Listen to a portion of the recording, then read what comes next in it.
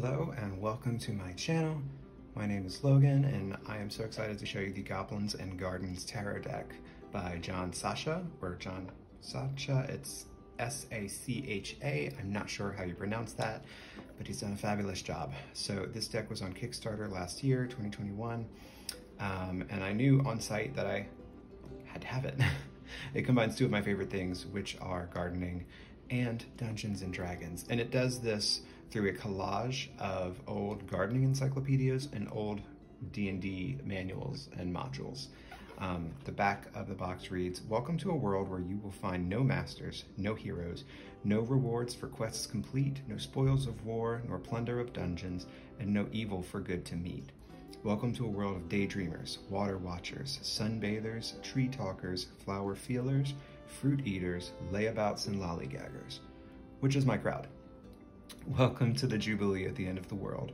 Welcome to every story that's been left behind. Welcome to Goblins and Gardens. Goblins and Gardens is a tarot deck featuring artwork collaged together from gardening encyclopedias and Dungeons and Dragons books and modules. So, what are we waiting for? Let's open the gate. And yeah, let's. Um, this deck comes with a little white book, which is extremely thoughtfully written. Um, the entries are very small, arguably, but you get four keywords and then a paragraph or three, um, or sometimes four, about each card, and it's really lovely. Um, it's a little white book that I'm actually going to read in full because it really helps to acquaint you with the world that these creatures live in. Um, and it's brilliant. It's really brilliant. I'm very thankful for it. So we're gonna take a look at a couple entries from that as we're going through this deck. We have a very pretty um, gold gilt edge. I know a lot of people are not a fan of gold gilding on card edges. This one, however, just from the moment I took it out of the box, none of the cards stuck together. It doesn't stick up from the cards to create like a weird tactile catchy experience. Um, it seems like a really high quality. The backs, I'm not sure what these are. I'm assuming it's something from D&D. Um, I've played a good amount of D&D. I'm just not familiar with things from older modules, I guess. Um, and the finish is like a glossy linen, and so it shuffles like a dream. It's average tarot height and a bit wider than your standard tarot deck, um, but because it's not extremely thick cardstock, it's very comfortable to handle. Um, and also, it's not like flimsy. It's it's nice and sturdy. So let's go through these shall we? So for the Queen of Cups, I'm not sure what this monster is, uh, but I like them a lot. They look elegant and poised, but also like they could ruin your world, and I admire that. um, we have Nine of Cups. So because D&D artwork has changed, at least in my opinion, so much over the years, a lot of the time I can't really tell what I'm looking at as far as what kind of monster or creature it is um, without consulting the guidebook because, you know, just these designs change so much through the decades. I do really love this Five of Wands. Uh, wands we're gonna see are portrayed with flowers with like long stalks or stems or what have you. Coins tend to be edible things like berries, you know, vegetation. Um, cups are going to be succulents and cacti for the most part, and then swords are going to be ferns, which I'm all about. I think, find the strength card particularly beautiful. It's just Jon's mix of imagery is it's just breathtaking. I think I read that it took him around two years to make this, just him and his uh, his exacto knife, and I can totally understand why. It's breathtaking. It's thoughtful it reads really well.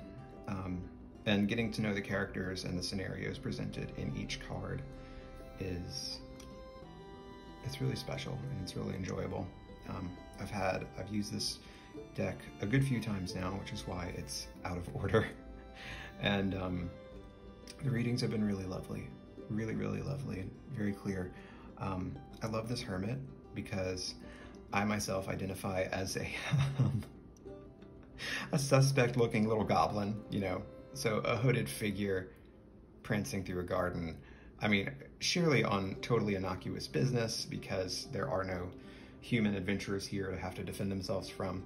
Uh, but this is this is totally a mood, and, and I'm here for it. Two of Wands.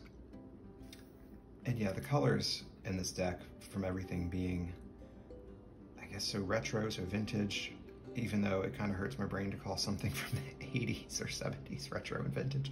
Because, um, like, good lord, we're, we're in 2022 now. What does that make the 90s?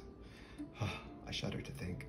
Um, the Hierophant, we have this, I was about to say Khajiit, we have this Tabaxi down here. The write-up for this one was interesting as well. Um, one of my favorite cards in the entire deck is the Devil. Liches, great. Strawberries, great. Put them together, perfection. Um, I have a sticker of this, a nice big vinyl sticker that's on the back of my iPad, and it's one of my favorite things. One of my favorite things. Love that Devil card. Uh, the Hanged Man, I appreciate we have two figures down here, and then this one lurking up top. Um, clearly about to wreck some shit, perhaps. The High Priestess, I enjoy the amount of like a burlesque vibe that this has. The bright flowers, the brightly lit cavern ceiling and whatnot.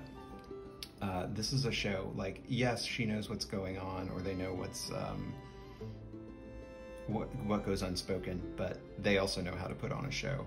Um, very, very, very drag. Uh, two of coins, we have some Brussels sprouts. The chariot cracks me up because I'd like to think that all these weapons belong to the rest of this adventuring party. Um, adventuring, they're here ruining crap, obviously. And so the fact that we have this one, this thing driving through on what I think is a lawnmower and just wrecking them, and these two are like, oh shit, I love it. I think it's fantastic. Uh, you can also catch this design with the critter on the lawnmower on the uh, Goblins and Gardens website as a t-shirt. I have one of those as well. It's really cute. Uh, six of coins. Love a succubus moment. Ten of cups. I really enjoy the imagery here. We don't get a lot of wintry vibes in this deck that I recall. Uh, and so this one really speaks to me. Also love the architecture in it. Eight of Coins. right after I say we don't get a lot of wintry uh, shit in the deck, right? Um, this one is very beautiful too. I love, I love berries and any sort of art for some reason. Um, a Knight of Coins, we have a lot of vegetation. Lovely Centaur. The Tower. Really like the colors in this one. It's very dramatic. I apologize if my hands are shaking for a bit. They tend to do that sometimes. The Emperor. I find it interesting because we have this very modern structure over here, and yet D&D creatures. Really enjoy the Six of Cups. Three of Swords, not sure what those are, but they look foreboding or intimidating. Um, the Fool. This is the artwork from the cover. I love this card. I think it's fantastic. They're so happy with their, what, their Lotus and it looks like maybe a leek in their other hand. Um, and they're just here to greet you. Like, I brought flowers. I have stuff we can snack on. Let's have a quick snack, jump back up to my skypad, and just get to know each other and have a good time. You know? Very trusting, very sweet. Um, Three of Wands. I love this one.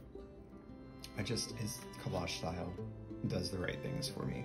Um, Four of Wands, very interesting with the pink and green and lots of gray in my opinion. Love it. The Lovers, look at that fearsome face. Getting all those apples. Page of Wands. I need to look up and see what these white flowers are because they also appeared, I think, in the um, Strength card, and I'm curious. Death. To me, this one is almost humorous. It's so, like, what what goons up here. It's um, it's ridiculous, and I'm here for it. Also, like scary monsters, skulls, and then vegetation is just funny. I like it a lot. Uh, Seven of Coins. I really enjoy this one. I feel like it really hits the solitary vibe of the Seven of Coins. 20 is Judgment. Three of Cups try to pick up the pace a little bit so we're not here until next week. Ten of Swords, more ferns. Knight of Swords, I love most of the knights have some sort of winged creature in them and I appreciate that because of the movement it implies. Five of coins. Things are pretty rough. They've lost their tree, but at least they have this vegetation, right? Nine of Wands. I love these. Are these Trillium? I'm not sure what these tri-petaled flowers are, but I love them, and that is a scary looking swan-like creature, I guess. Ten of Wands. I love this because it's beautiful. It's all as you want it, but should you really be carrying this much, we can barely see you anymore for all of your burden, right? Seven of Swords. Those are a lot of sharp implements behind that uh, Minotaur. Four of Swords. I love this because the background gives me Scooby-Doo, first of all. Um, and then we have it's not like a an intimidating or ominous sort of presence with the mummy here in the background. Like this is just their natural habitat, and they're just having a rest, which is what the Four of Swords is all about. So I appreciate it from the mummy's perspective. I think that was clever. Temperance, looking really lovely. Queen of Wands. All right, I do want to find and read the entry for this card because uh, Queen of Wands is generally the significator I use for myself uh, being that she's spicy. And let's read. I'm gonna try to hold two of these. Hopefully you can see see this somewhat well. Queen of Wands. So for keywords, we have social, shadows, determined, and luster. The entry reads, nothing can contain the Erinyes. I don't know if I'm pronouncing that right, I'm sorry. I'm guessing that's this creature's name. They beam with autonomy reclaimed, social and vibrant, now cultivating vast gardens throughout all hells. Every devil can enjoy spreading wildflowers, and after all, why shouldn't they? Go out, get out all the candelabras and light all the chandeliers. Tonight we celebrate. We demons all owe a great debt to you, our queen. Your light shines bright and your charisma illuminates every corner of every room. Knowing you is knowing community, candor, independence, and charm. What a lady. I think that's a badass write up for the Queen of Wands. Um, I'm completely here for it. I love the art of this card. I love, I just, I just love it. And then that, that uh, card meaning entry in the little white book just sent it over the top for me. Absolutely here for it. Queen of Swords. Um, this is a very intimidating harpy. I would not want to mess with them. King of Coins. I don't know what this is. Its nose gives me carrot, but I don't know what this is which is not a read. It's still a good card. Queen of Coins, these nails. Ace of Wands, I really enjoy uh, that we have the Fearsome Beholder and then very similarly shaped right next to it, we have a dandelion head. it's like the juxtaposition of like fearsome and aw or whatever is, is really enjoyable in this deck. King of Cups, feeling crabby. The Star, I need to take a better look at this one to see what exactly all is going on there, but it's it's chock full. Four of Cups, another hooded robed figure, like in The Hermit, which I adore, especially when they're not up to like nefarious shit. Just minding their own business, chilling. It's good shit, that. Two of Cups. Page of Coins. this little guy also cracks me up. Five of Swords. Uh, let's look at this entry. I'm not going to pull out every single entry, I promise. But I did think it had an interesting sentiment about it for the Five of Swords. So for keywords, we have abandon, conflict, stoic, and pyrrhic. Fog still hangs heavy around Ilneval. Thick curtains suffocate his mind in the afternoon sun. The god of war holds not his sword, but a narrow leaf-strap fern, which yeah, Unperturbed, savoring its restorative nature, he hopes maybe someday he'll learn to breathe only these deep, calm breaths. Now the sun is setting, and the loss that lingers is a window into other worlds. Conflict is natural, but if you become its pursuant, you risk unraveling. Don't rush this. Conclusions will come to you soon. I really appreciate the line about conflict being natural, but if you become its pursuant, you'll start unraveling. And I think that's a really excellent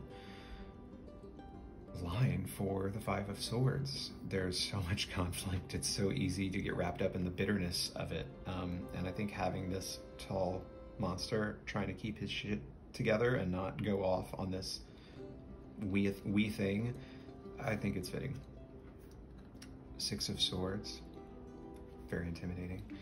Um, really enjoy the island vibes of this two, five of swords, six of swords, nine of swords. I need my glasses. um, so this deck, this deck I feel like is for anyone who would enjoy something quirky, who enjoys vintage art, who enjoys collage, Dungeons and Dragons, and or gardening. I used to love to garden. I had a really great flower garden back in Louisiana before I moved to PA. Um, and it had oh, irises, datura. I tried growing foxglove, didn't have a lot of luck. Astilbe, um, hibiscus, like I miss growing flowers so much. Uh, we have an apartment here, so that's why I haven't been able to pick it back up here. But I'm excited because the summers are much more forgiving in PA, so I can actually tend gardens in the summer and not let heat intolerance drive me indoors at the uh, detriment of my plants. So it's gonna be a good time. Anyway, Eight of Cups. Really appreciate this alligator leaving, leaving this pond behind possibly, moving on to better things. Justice cracks me up. Uh, I love it because you have the humans who have clearly been, you know, terrorizing these creatures for a long time, getting what they had coming. Uh, we have demonic bull situations happening. We have killer corn. We have corn that I can't think of the word for it, the stuff that sprouts off at the end. This one is giving me very like, if Elvis Presley and 45 had a corn child, that would be this corn overlord. But I just think it's fucking funny. I, I like it a lot. Magician, I love this magician card. I think it's fantastic. It feels so natural to me that like somebody who is going to be in these scholarly pursuits, in these mystical uh, or occult pursuits, like of course they're going to have plants and herbs all over their desks uh, that they're you know working with the properties of recording scientific experiments with etc and then also having plants and things growing off of their shelves like it's it's a vibe. It's a vibe i can get behind. So i love that magician card. Knight of wands very pretty. I think these are columbine. I don't know if i'm pronouncing that correctly but uh, i've grown these before. I think they're technically like a weed in maybe wildflower is the word in states like Colorado. Uh, Seven of Cups, we have more succulents. This little guy makes me think of the lizard people from Dark Souls, and I always, just a little bit when I see it, because um, they, they still freak me out. Aside from that one nice one you meet. Um, wheel of Fortune, we have the elements along the wheel here. Uh, I need to read the booklet to see the significance of all the little critters. They're all reading, which I find very interesting. I didn't notice that before. What are they reading? I need to look and see. King of Wands, also beautiful. I love this little critter guy. Um, the flowers are excellent. Irises are some of my favorite flowers, so super excited to see him show up in the King of Wands. It's beautiful. Knight of Cups, this is another favorite card of mine. Uh, the pinks in this deck are fantastic, so whenever we come across a card that has outstanding pink, it always, always makes me happy. But I also really love these Merhorse situations. They're gorgeous. I used to draw them a lot as a kid, so seeing one in this deck is really nostalgic and fantastic. Page of Swords. What's up with these legs? I don't know what that is. King of Swords. I need to shuffle this better. We have like a clump of court cards, but they're terrifying, right? The Empress. Lots of vegetation. Five of Cups. I do enjoy how barren this feels. This feels in keeping for the card for me. Four of coins with these asparagus. Very interesting. I love the darkness in the background and this bleary, maybe moon or something over here. I find it very interesting. We're getting towards the end here. Eight of Wands. I don't know what this is, but it's terrifying to me. Ace of Swords. Very cute, very cute. Um, on the last two. So we have the Moon, which is another one of my favorite cards. Again, because excellent use of pink. We have, I can't tell if this is cloud line with sun or moonlight coming from behind it, or if this is like a shore. It's probably clouds, but it gives me tidal feelings anyway. Um, and it's just, it's fantastic. We also have a moon back here that this monster is standing in front of. I love it. I just, I love it. Um, I also think the card titles uh, done in this collage way of their own, like ransom note style, is perfect for the deck. And then for the six of coins, oops, nine of coins. Seriously, I need to grab my glasses. We have this mica something, I think. It's like a, a fungus person, which I am well acquainted with from reading a lot of R.A. Salvatore books. Um, at least I think that's what it is. Hanging out with, you know, some nuts. So we have what I think is hazelnuts. I'm not sure what that one is. Uh, almonds, pecans, or depending on where you're from, pecans. So, yeah, that's the Goblins and Gardens Tarot. Um, I think it's I think it's fantastic. It's one of the most interesting decks that I have happened upon in a few years. And for that, I am very appreciative. Because, you know, we work with these tools a lot, right? They mean a great deal in a lot of our lives. They provide a lot of comfort, they provide a lot of guidance, and not just to us, you know, like a lot of times to friends of ours and such too. So to have an entry in my collection that feels this special and this unique and has such humor and lightheartedness to it and a beautifully thoughtful uh, little white book. I'm just very grateful. So by all means, do check out the Goblins and Gardens Tarot deck uh, at goblinsandgardenstarot.com. Not tarot, oof, goblinsandgardens.com. Uh, it's fantastic, it's affordable, um, the creator's a really nice guy, so check it out. In the meantime, thank you so much for hanging out with me and looking at this deck, and I hope you have a beautiful day.